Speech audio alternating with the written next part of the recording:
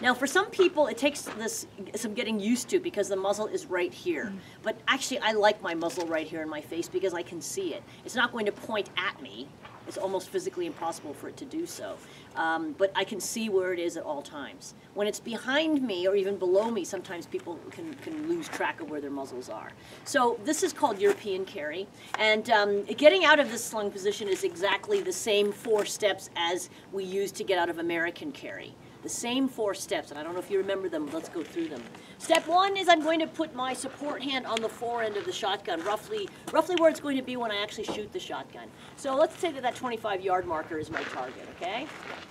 So I'm facing my target. I've decided there's something hinky about it. I need to get the shotgun off my shoulder. One, my hand is on the, the, the fore end, and it's probably going to be there anyway in European carry. It's just kind of a comfortable place for that hand to be, yeah? Number two is I'm going to thrust that muzzle towards that, that target, okay?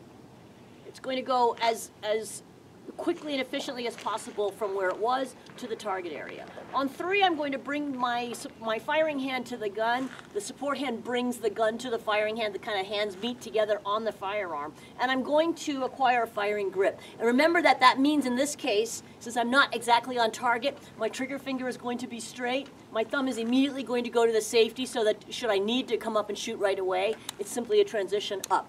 As I bring the gun to my face, the safety goes off. Good?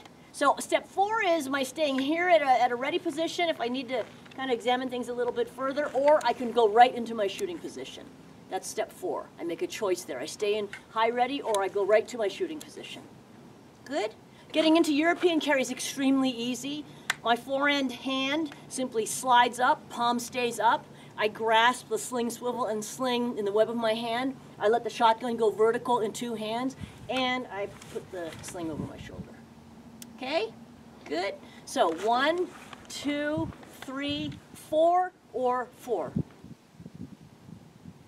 Going back into it, slide the hand up, web of the hand, back onto my shoulder.